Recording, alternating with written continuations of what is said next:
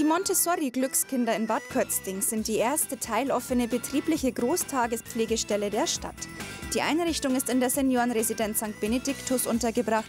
So können die dort angestellten Pflegefachkräfte nach einer Geburt wieder schneller ins Berufsleben einsteigen, da eine hausinterne Betreuung vorhanden ist. Außerdem stehen die ausgedehnten Öffnungszeiten und die wenigen Schließtage für eine Vereinbarkeit von Beruf und Familie und sprechen gezielt berufstätige Eltern an. Gleichzeitig wird der Nachwuchs hier auch zu Randzeiten betreut, was bei vielen anderen Kinderkrippenangestellten in Pflegeberufen durch den Schichtdienst oft an ihre Grenzen bringt. Durch das Miteinander von Heimbewohnern und Kindern werden von Grund auf soziale Kompetenzen gefördert. Die Montessori-Glückskinder ein Schritt in Richtung Mehrgenerationenwohnen.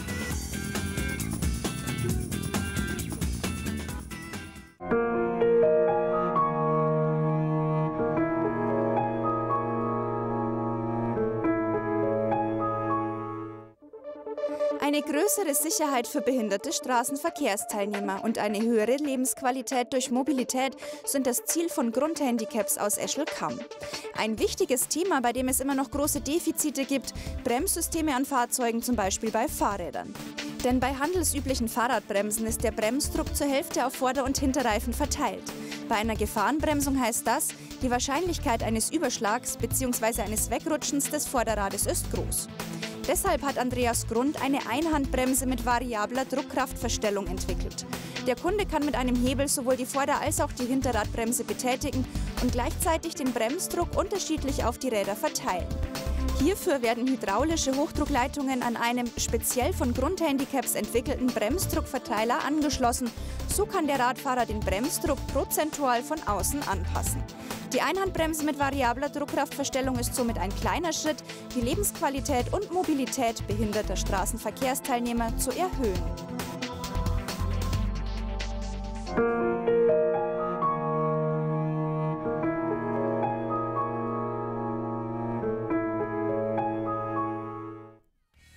Wenn Rohrleitungen saniert werden müssen, dann sind oft große Baustellen nötig. Lange Gräben müssen ausgehoben werden.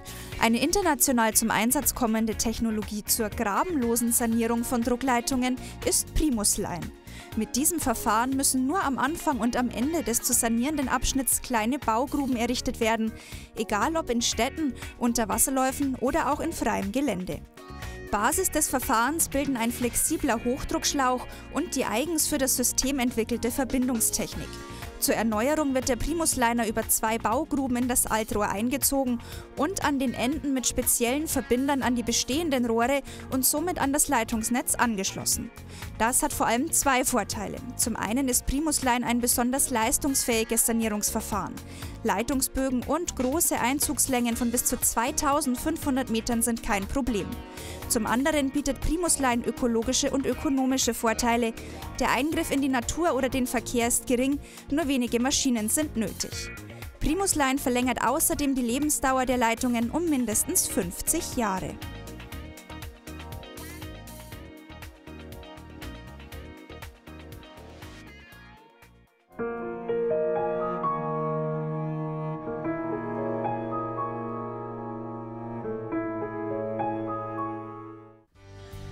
Seniorenarbeit ist der Gemeinde Arach seit jeher wichtig.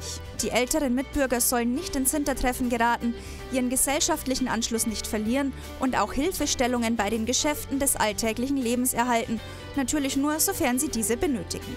Deshalb wurde auf Vorschlag von Bürgermeister Sepp Schmidt vom Gemeinderat Arach die Einführung einer hauptamtlichen Seniorenbetreuung beschlossen. Seitdem kümmert sich Marion Weber, die ehemals ehrenamtlich für die Seniorenbetreuung zuständig war, um die älteren Bürger in Arach. Ein Augenmerk ihrer Arbeit liegt dabei auf der Unterstützung von Senioren beim Ausfüllen von Antragsformularen, wie zum Beispiel zum Erreichen einer Pflegestufe.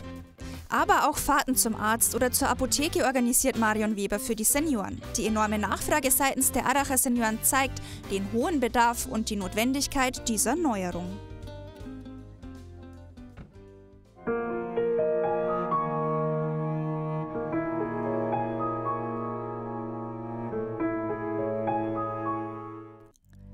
Kostbare und außergewöhnliche Materialien wie Edelhölzer, Büffelhorn und Mais, eine Bandsäge und eine Drechselbank. Viel mehr braucht Christoph Dengler nicht, um daraus in Handarbeit individuelle hochwertige Schreibgeräte herzustellen. Nach ausführlicher Beratung entstehen auf individuellen Kundenwunsch einmalige Schreibgeräte wie Füller, Rollerball und Drehkugelschreiber. In jedem Unikat liegt dabei eine persönliche Geschichte oder eine außergewöhnliche Idee zugrunde regionalem Einkauf und einem traditionellen, fast ausgestorbenen Handwerk auf der einen, steht auf der anderen Seite ein Mix an modernsten Vertriebsmethoden über Internet und sozialen Medien gegenüber.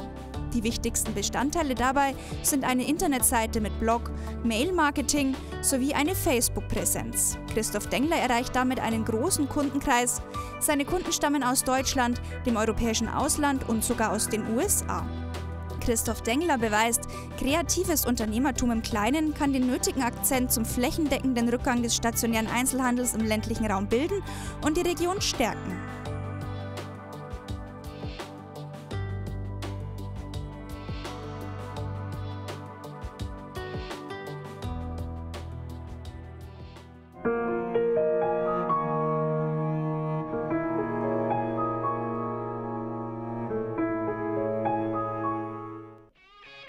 Ein flexibles Fertigkastenlager für Rolllädenkästen ist die jüngste Entwicklung der Firma Rollladen Braun.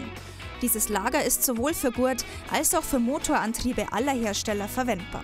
Es hat viele Vorteile. Es ist nicht hersteller- oder typgebunden. Die Umrüstung von Gurt auf Motorantrieb eines Rollladens ist einfacher, schneller und somit kostengünstiger. Bisher waren für jeden Hersteller und je Antriebsart, also Gurt- oder Motorantrieb, unterschiedliche Lager für Rolllädenkästen erforderlich. Allein 10 bis 15 Fertigkastenlager benötigte die Firma Braun bisher. Zudem musste bislang bei einem späteren Umbau von Gurt auf Motorantrieb auch das Lager gewechselt werden. Auch ist die Lagerhaltung für Hersteller und Verarbeiter einfacher, da die Bereithaltung von mehreren verschiedenen Typen und Fabrikaten entfällt. Die Idee für das universelle Lager hatte Rüdiger Baumgärtner, Mitarbeiter bei Rollladen Braun. Umgesetzt wurde sie von der Firma Selve, einem der führenden Lieferanten für Rolladenzubehör. Selve möchte das flexible Fertigkastenlager außerdem zum Patent anmelden.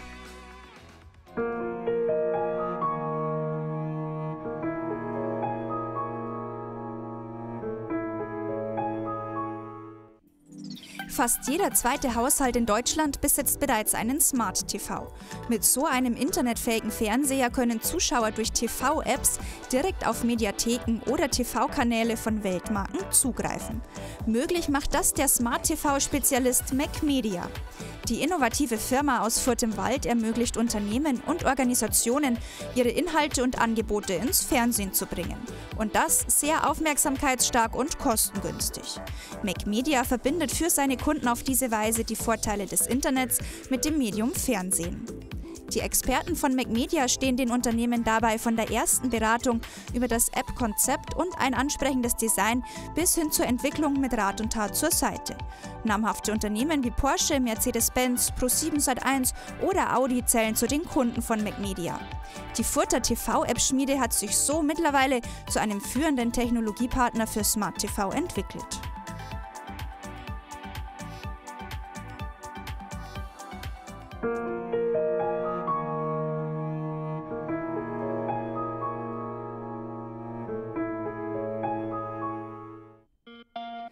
Der größten Herausforderungen für die Einführung von Elektromobilität ist eine flächendeckende Ladeinfrastruktur für die E-Fahrzeuge.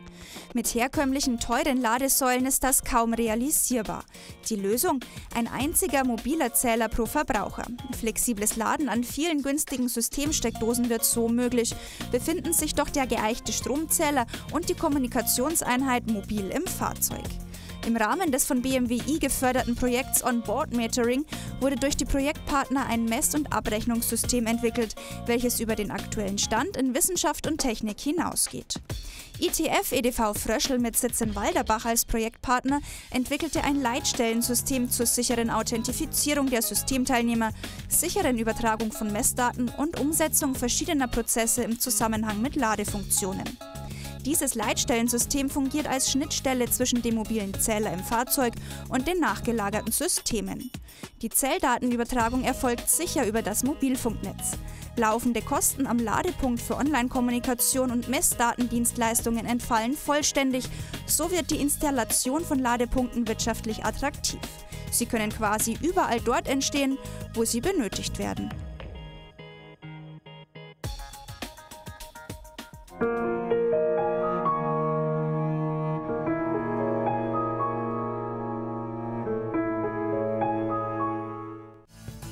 Ein kontrollierter Luftaustausch sowie eine Lüftung zum Schutz vor Feuchtigkeit in Wohnräumen können nur durch eine aktive Lüftungsanlage gewährleistet werden. Im privaten Bereich ist deshalb eine dezentrale Lüftungsanlage unverzichtbar. Für diese hat die Firma Schweiger Rollladen GmbH aus Roding einen speziellen Multidämm-Block entwickelt. Er ermöglicht unter anderem den wärmebrückefreien Einbau, hat sogar Passivhauszulassung und vermeidet die Bildung von Kondensat im Lüfterbereich. Der Multi-Dämm-Block ist für alle Wandstärken geeignet und kann auch für die Altbausanierung verwendet werden. Ein beidseitig 100%ig wandbündiger Einbau sowie Designblenden sorgen zusätzlich für eine schöne Optik. Die Schweiger Rollladen GmbH hat den Multi-Dämm-Block als Patent angemeldet und hat bereits Vorbestellungen von Händlern aus Österreich, Frankreich und Italien.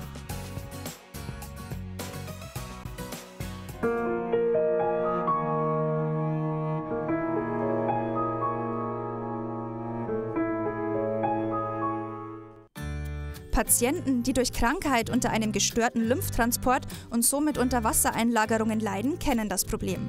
Sie müssen eine Lymphdrainagentherapie absolvieren und finden keine geeigneten Schuhe, die trotz gewickelter Beine beim Laufen festen Halt bieten. Und das, obwohl ausreichend Bewegung ein wichtiger Bestandteil der Therapie ist, um die Flüssigkeit aus den geschwollenen Extremitäten abzutransportieren. Abhilfe schaffen hier die Lymphschuhe von Florett aus kaum. Sie sorgen für festen Halt, egal in welchem Stadium der Therapie. Sie sind aufgrund ihrer Konstruktion und der verwendeten Materialien so gestaltet, dass sie sich mit zunehmendem Therapieerfolg an die Füße der Patienten anpassen. Geht die Schwellung zurück oder wird weniger dick gewickelt, sitzt der Schuh immer noch fest am Fuß und sorgt für einen sicheren Halt bei Bewegung und Sport. Mit den Lymphschuhen konnte eine Nische im Gesundheitsbereich geschlossen werden.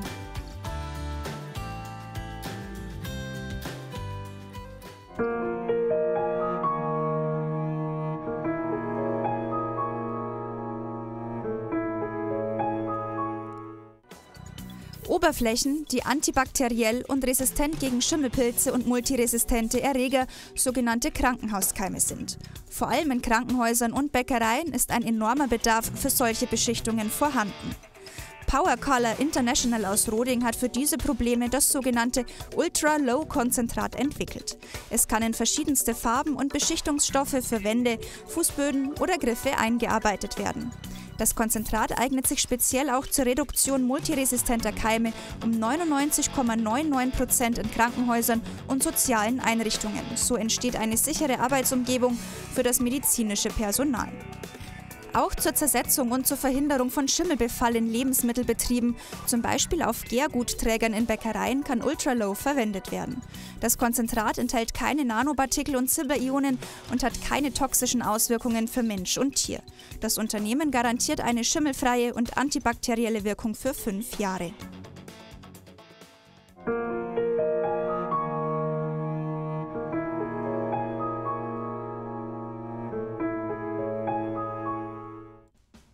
Der schöne bayerische Wald als Geburtsstätte von Actionfiguren aus Holz. Das möglich macht die Firma Weiß Natur Idee pur aus Zand mit ihren Helden aus Holz. Vor Ort werden die Figuren im hochwertigen und modernen Maschinenpark gefertigt.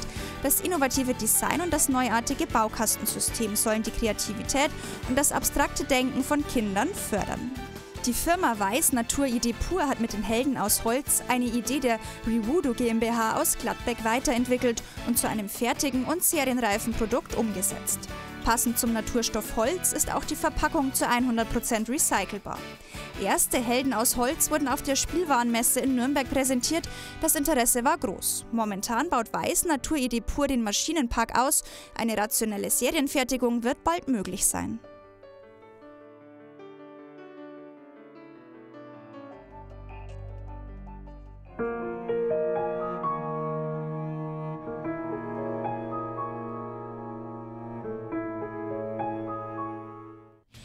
Seitdem vor ein paar Jahren in den Medien über schlimme Skiunfälle berichtet wurde, bei denen die Beteiligten keinen Helm trugen, hat sich dieser bei den Skifahrern immer mehr durchgesetzt und gehört mittlerweile zum normalen Bild auf den Skipisten.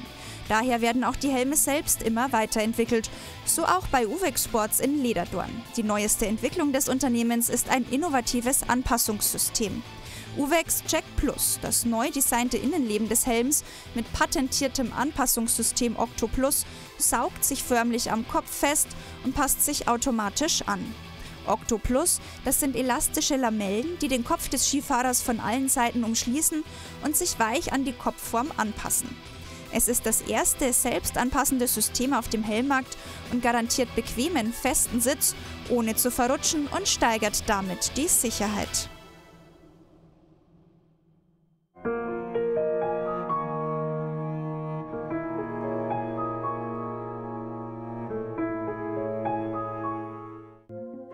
Ein neues Firmengebäude ohne extra eingebaute Klimatisierung und dennoch eine konstante, angenehme Temperatur zwischen 21 und 24 Grad.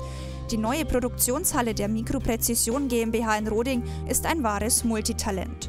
Für den Winterbetrieb dient die Prozessabwärme der vielen Maschinen als Heizenergie. Im Sommer wird durch intelligentes Lüften die Wärme nach oben hin abgeleitet. Im Gegenzug strömt kalte Luft von unten durch geöffnete Kellerluken und Luftschächte in die Produktionshalle nach.